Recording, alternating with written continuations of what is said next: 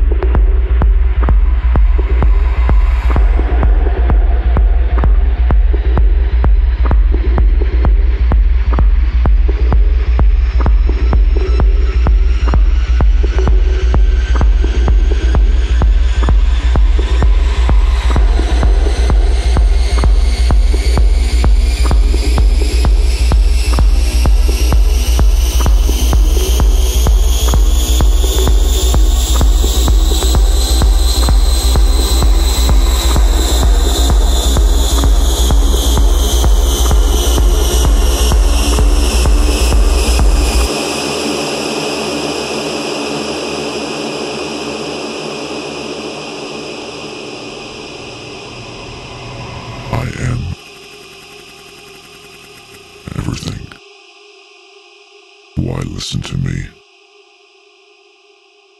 I'm just a voice inside your head. I can't help you. Help yourself.